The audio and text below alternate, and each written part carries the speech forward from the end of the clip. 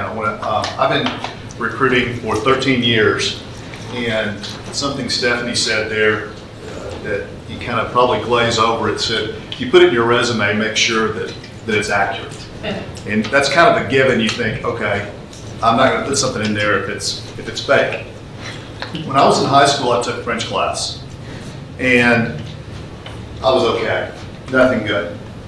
When I went to college, my degree was in international studies, and I was forced to take foreign language, so I was going to take French.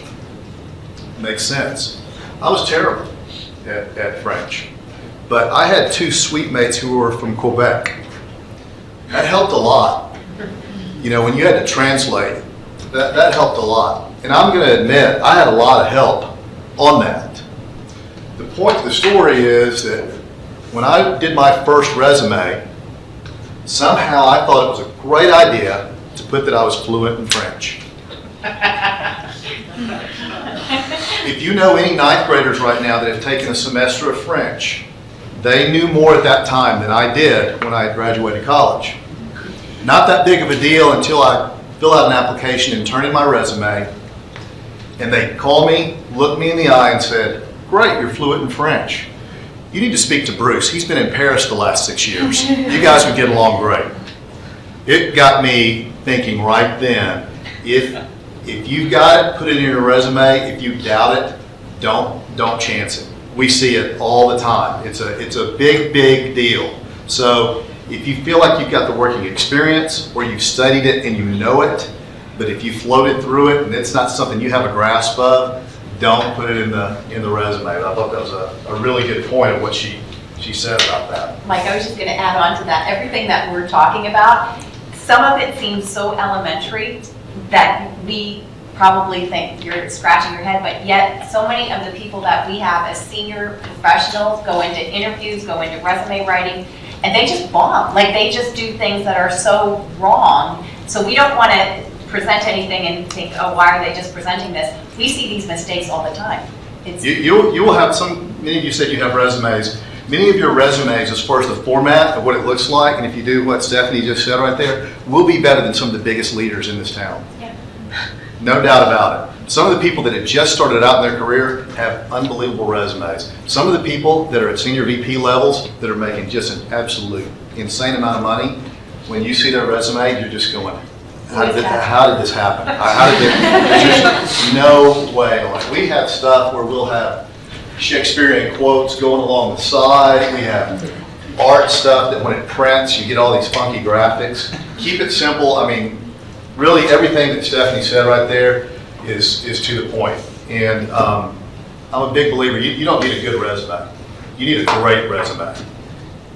And there's a big difference. And I'll talk about that a little bit more, but what I'm going to talk about is, is really a little bit of, kind of some strategies behind the search process. Okay, got my degree, got my resume, now what, what am I doing now? How do I go about this? Obviously, you've got some internship options and different things. And I also want to apologize because I have to read my notes a lot more. We, when we started this about 10 years ago, this is before you even really turn on the computer almost. I mean, my, my part of this presentation has evolved and changed every year. This is a different presentation on this strategy than it was two years ago, and two years from now, it'll be even different.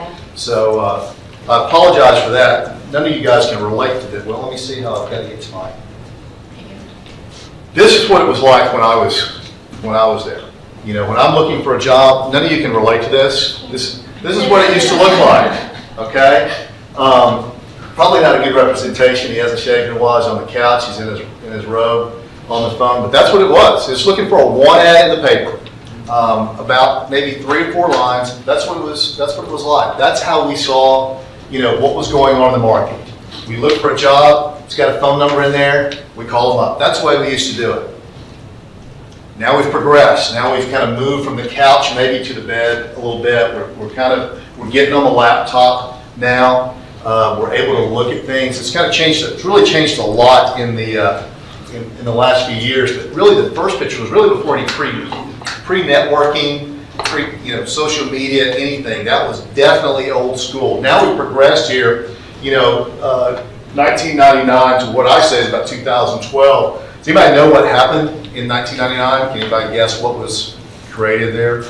This Monster, Career Builder.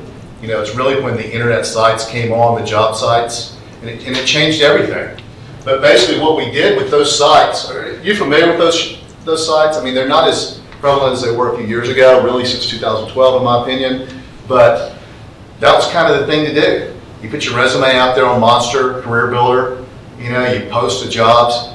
But we always used to kid people because really what you're doing is you're applying to an online ad, you know, the same as the newspaper, but now it's just internet based. The difference is it changed the geography of it because when I'm the guy on the couch looking, I'm looking in the local paper, maybe a trade publication, and I'm looking at this amount of data. Now we've moved here and it's internet based, so you're seeing full job descriptions online.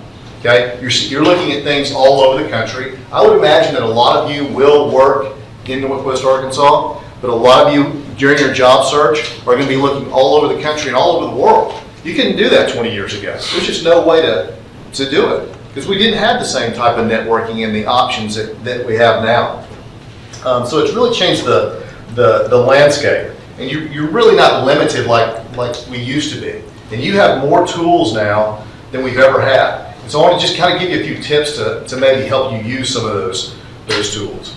Um, for some of you right now, if you're applying or will be applying online, this is, this is kind of what your game plan is, I bet. You're gonna be sitting in the PJs, you're gonna be applying stuff online, and then you're gonna go, man, I don't know what happened, what's the deal? Nobody likes me. I'm not hearing anything. I'm getting these Dear John letters, you know, no, why, why won't they even, I got a great resume. I got, a look at me, I've got, you know, a master's. How did they not like me? What's the, what's the scoop? And there's an art to it. It's a little bit more of a strategy now. So I would say even since 2012, this is now a little bit gone. So we're not just putting our resume online, we're not just applying to things. There's a little bit more of a strategy uh, behind it. And I say 2012 because that's when more of the aggregators came through. We're looking at more, if you've heard of these, Indeed, Simply Hired. You know, companies like that that bring it all together in addition to the company websites. Um, what I see with this is really a lot of disappointment. I will have people at executive levels that will call me and go, man, I am on a, a, a brutal job search. I am looking for the right job. I'm pretty aggressive right now. When you ask them what that is, I'm in my PJs. I spend every night from 10 to 12, and I look for jobs and I send my resume to that. That happens. I can't say that people don't get hired that way, but what I want to do today is kind of give you kind of the new job search, a little bit more of a strategy behind it. I realize that some of you guys are a year or more away. I realize that some are, are ready to go with this. And I realize that by the time I finish this today, the whole strategy might even change because technology is changing more quickly. Uh, when Stephanie said something about, we don't read down to eight lines, we don't.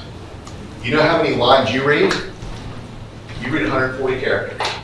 You're, you're Twitter people. You're, that's, that's kind of the way it's changed. So it's really more now, it's impactful. No, you don't have time. You guys probably, even when you're reading books, anything, you scan and move on. You go through it quickly. And that's why, another reason why the strategies, the the strategies are so important. She asked you about resumes. How many of you are on LinkedIn? Not just signed up, but I mean, you've got some stuff on there. Mean, not just student, but you've got some, some stuff. How many of you are on Facebook? Mm-hmm. Twitter? Snapchat?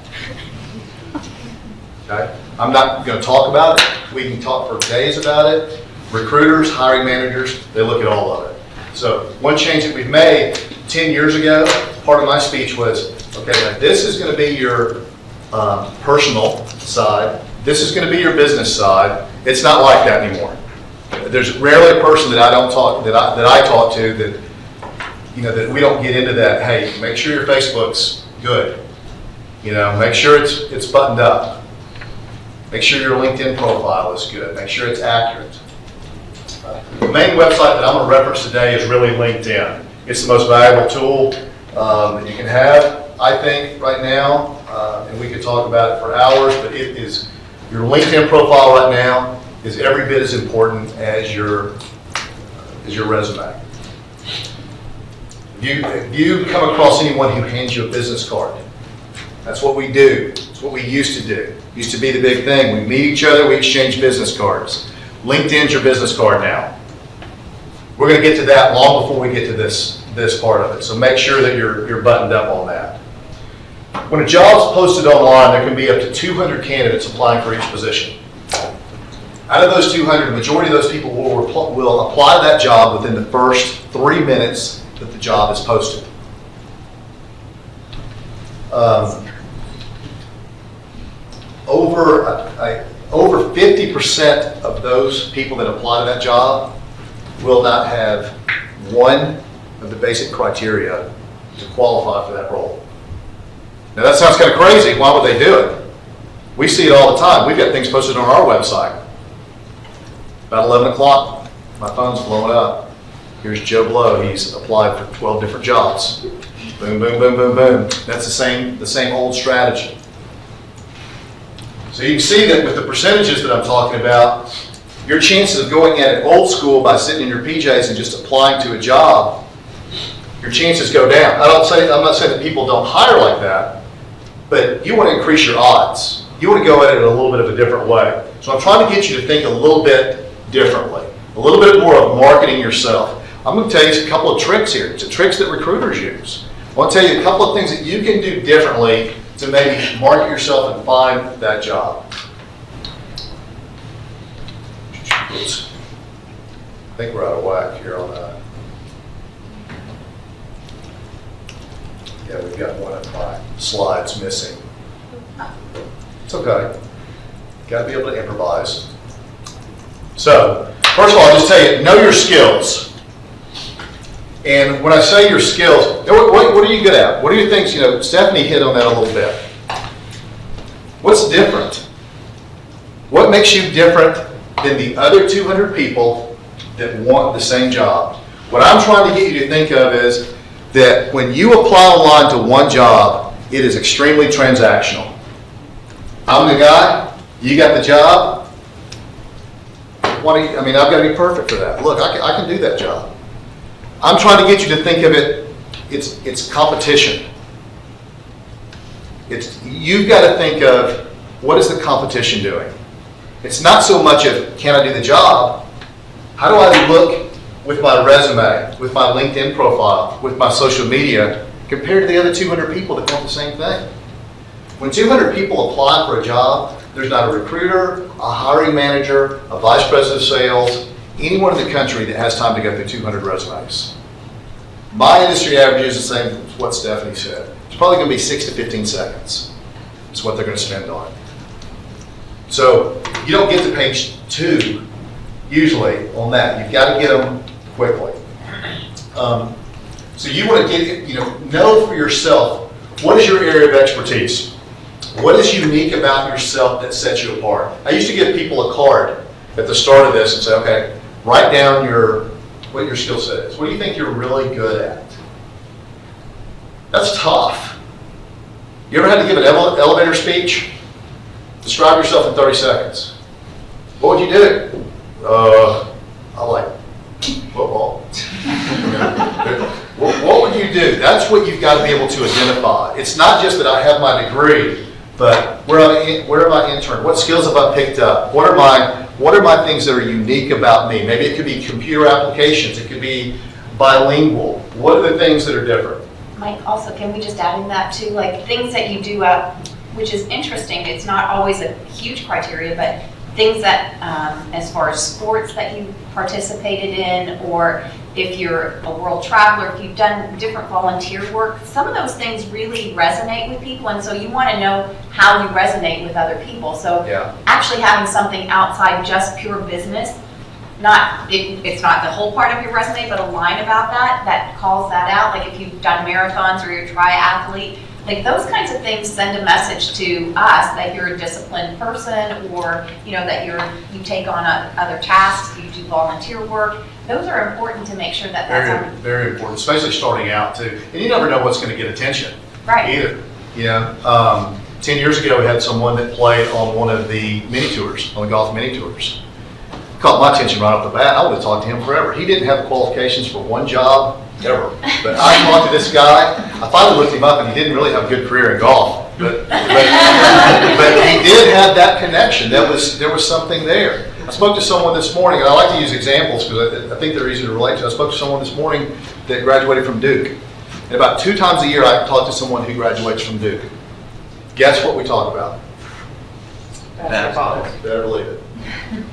Better believe it. Well, does it actually get them a job though? No. But you know what? It starts the conversation. Right. And if you start the conversation, you've got a shot at getting the job. And when you've got 200 people you're going against, the truth of the matter is, hiring managers are looking for ways to get rid of 150 of those so they can focus on the talent. And what waters it down is that when you go in there and you've got your MBA and you've done everything that you could do to, to have everything right and make you a, a good candidate, the guy at Taco Bell, he's got his resume in there too. It gets, it gets muddied. So we look for ways to set ourselves apart. Look for ways to set ourselves apart, not only for one particular job, but how do we do it for the competition? What's different and unique about us? Um, doesn't really necessarily relate here, but there's a, there's a saying, if you've ever heard it, it says sales is sales, a widget's a widget. And that if I can sell this product, I can sell anything. Companies usually don't. That's not what they do. Companies are looking to hire people with an, an area of expertise, you know, and that may be engineering, it may be finance, it may be, you know, human resources, but they're looking for the, the thing that you specialize in. If you make everything generic, you're going in the wrong path. That's why it's so important to be able to identify your skills. A guy from Chicago called me last week. He said, I'm sales and marketing. And I said, well, I'm working on some different things. He said, well, I I can do that. He goes, I've got finance too. He goes, I'm sales, marketing, and finance. I said, no, you're not. I said, no, you're not. I said, what's, what, what's your gig? What's your thing? He goes, well, I'm sales marketing. I can do finance. Companies don't hire that way. We, you don't want to get to a situation where you are a jack of all trades. Then you go back to me, the guy who is, thinks he's an expert in French. You know, I'm, do- I think I can do it all. Narrow your scope down a little bit on your skill set and identify it. Research companies, not jobs, at least at the beginning. What companies employ people with your skill set? Anybody here accounting? Anybody here finance? Anybody here finance? Go on LinkedIn, reverse search, put in finance. What people are coming up in LinkedIn? You're going to find a ton of companies out there, companies you've never heard of. And the way most people go about it is they think of the big companies only. They think that's a good place to work, which I'm not saying it's not, but they lose out on opportunities. You don't want to be so narrow in your focus that you lose some opportunities out there. There's some great companies out there that, that none of us have ever heard of. In in addition to LinkedIn too, you know, LinkedIn's really what I'm talking about the most, but if you uh, research on Yahoo Finance, publicly traded company, you can get a lot of information there. Hoovers, you get a lot of information on companies on Facebook. So there are a lot of places to, uh, to do that. Do you know anyone at the company that's currently working there or has worked at the company before? It's not too early for you to start researching that. Some companies, what about some people who've left this program? Where have they gone? Some that have maybe your same either skill set, maybe your same education, some of your friends. Have you done a reverse search on LinkedIn to see who you went to high school with? Who you went to college with? I graduated from Texas State University. It's in San Marcos, Texas. Connected with a buyer at Walmart for that reason. Just that we had that in common. It Certainly was easy to say, hey, it's good to see a fellow Bobcat in Northwest Arkansas. It opened the door. You never know, but use those connections there and make sure that you're doing the research on the company and find those companies that might be of interest to you that you just don't know about. Can you see yourself working with the company? When you're researching companies, if you don't see yourself working there, you don't think it's a place you want to go, move on.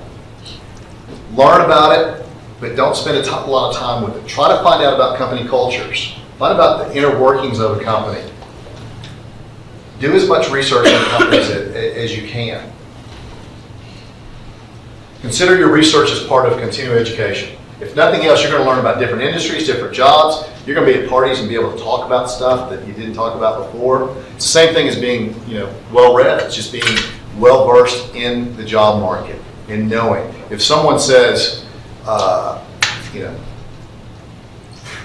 something about Tyson, you know, something about Walmart, and you can talk about that and you, and you know something about the, the company, it just makes you that much smarter.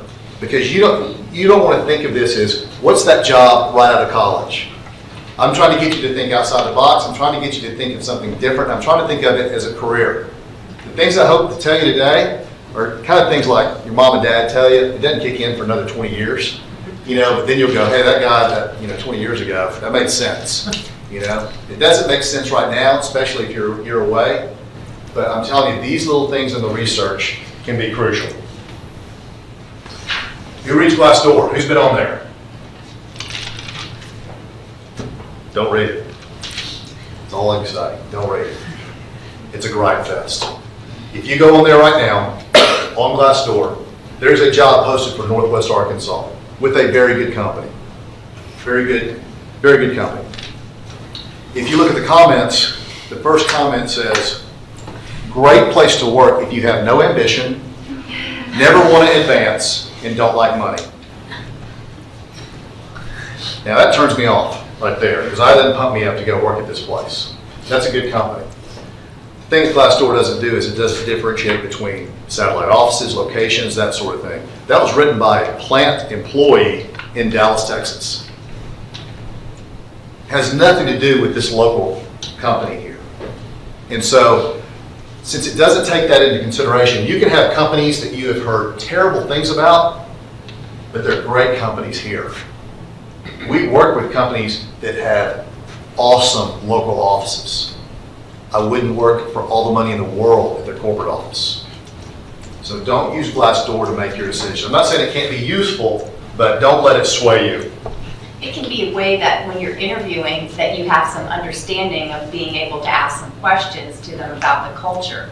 Because I think understanding the culture of a company is important, but just like what Mike is saying, to know that it's either a disgruntled employee, because most people who go on are not happy. You don't get people who are really happy writing, you know, oh, I love this, it's such a great place to work. They don't generally do it, it's usually the person that's upset. And quite often, there's management changes, there's all kinds of policies and things that are going on. We have, like, we just get the background of it, and so not understanding the full context of what has happened, why it's happened, that really does give a limited experience for you as far as the company is concerned. But it will give you opportunity to talk about that in an interview. Like I would bring up, say, you know what, I noticed this. I noticed this, and, and then that even shows that you've done your research on the company and that you're thoughtful about what you're wanting to join. So, You probably bought something recently online and you get a survey afterwards. And if you're like me, you probably delete it. But if I was ticked off, I'd fill, I'd fill it out.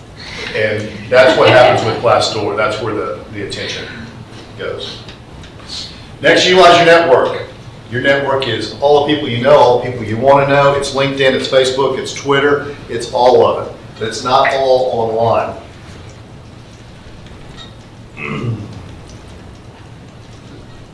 Do you know anyone currently doing a job similar to you, to what you want to do?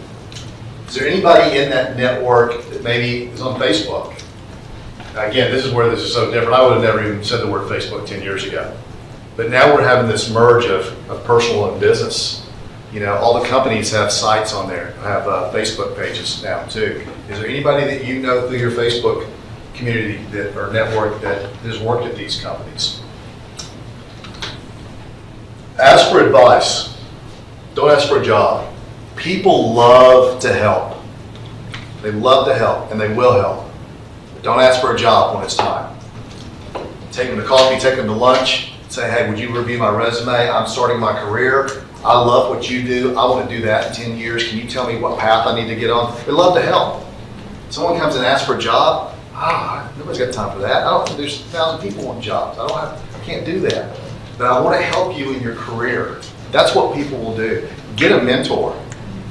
I always say when you take some, when you, you know, take them out to lunch, But when you take them out to lunch, take them someplace populated. Take them someplace that's just packed. Because if they're connected, they're gonna know someone in there. And that's where you increase your network. You meet more and more people. A lot of, a lot of what we do and what you're gonna see through your career is, is what Denise, said, it's timing. It's being in the right place, the right time, knowing the right people. And when you have that opportunity, it's then having the resume and the background and the education to take it to the next level. Network in person. Even though I talk about LinkedIn, Facebook, all of it, nothing will beat in-person contact. It, it, it never will. If I can talk about a candidate in Bentonville, Arkansas, as opposed to one in New York about a Bentonville job, it changes everything if I've met them. Meet people, get out of your comfort zone. If you are in your PJs applying online, if you're staying up all night on LinkedIn trying to connect with people that have your degree, you gotta take it to the next level. They will help. People will help you. Connect with a recruiter who specializes in your in your industry because we can help each other. Don't do it until you have marketable experience. Okay? Get that experience, get those contacts, and connect with the recruiter. There are recruiters that, that specialize in everything, engineering, finance, accounting, pharmaceuticals, everything you want. And, the- and it can be a lifelong career relationship that, that can help, especially if it's a two-way street. But find one, because I think they can give you some insights, what we do, you know, in the, in the CPG world. Now you've created your network, you've got everything buttoned up as far as your resume. All the buttons are, or the I's are dotted, the T's are crossed. Now it's time to selectively apply. Would you hire you? You really have to ask that. Would you? Am I ready to go? I'm on the job market, I don't have uh, pages, uh, on my Facebook page, I don't have any me doing any cake stands or anything. We've had that happen. We've had that happen. We've had people that were doing things that they probably shouldn't post on Facebook when they're in the job market. I'll repeat, there is not a a recruiter or hiring manager that is not looking at your Facebook and uh, your LinkedIn profile. Athletes, you see what's happening there. Okay? They're getting in trouble for things that are happening completely off the field and off the court by what's happening in, in social media.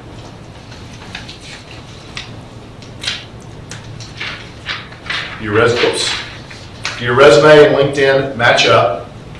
And do they match the criteria that you're looking at? Does that make sense? So if the job description says, we are looking for someone who has an engineering background, who has a, a, a, you know, a, a- master's, who, you know, has, has these software applications. If you don't have any of that, move on. There'll be something for you. That's why it's so important to identify your skills, so you know how to search. John Doe is better than info. I put that in there to really kind of remind me. When you find something, when, do that LinkedIn search, when you're doing the reverse search and you're looking for the people that you went to school with that are now working at Tyson, if you can send a resume or contact them directly, you're better off than sending it through the website. Companies don't like to hear that, but there are a lot of companies in town here that if you send your resume in to careers@company.com, it's going to Tallahassee, it's going to Cleveland, it's going to Los Angeles. And what that person is doing in that office is they're going, uh, he does not have three years of experience. He has two and a half. And they mark you off. So much easier to do that reverse lookup on LinkedIn, find someone you know, see if they can walk your resume down the hall. See if they know the hiring manager. See if they know someone in human resources. Use your contacts, but remember, a direct letter, direct email to an individual will always be better than doing the thing, you know, online, applying to, Career Builder, Indeed, and all that stuff. It's just going generic info, uh, email addresses. Know and document where you apply, who you contact, and the results you get. You don't want your resume just going everywhere. Know what you're, know where it's going. For those of you who have a resume together, if I were to say, hey, who's got your resume? You should be able to know like that. If, someone calls us and we ask that question, who has your resume? Go, well, I've applied a lot online. And what do we think? What does a hiring manager think? You're that girl that was, you know, in bed on in her PJs at night, just shooting off resumes. Anyway, set yourself apart. You've got the education. You've worked hard for your education. Be smart in your in your job search. And then think of it from the company's perspective. Would they hire you? Why would they hire you over the other 200 people? And don't take it personally. I, use, the last thing I'll say is use an analogy here, a little bit of a, a sports analogy. There are a lot of football players in the country that want to play football here. And there are a lot of them that are good enough to play here that will never get the chance. The reason being, it's not that they're not good, we just may not need any more quarterbacks. We may not need any more wide receivers. It's the same thing in the job market. What you specialize in, they may not need that right then. That doesn't mean that your resume is bad, it doesn't mean you're a bad person. Don't take it personally. Use it to continue your education. Don't burn any bridges. That same company that turns you down can be begging for you three years later. Make it a full experience that you gain something from, that you learn something from. Don't take it personally, and you'll be successful.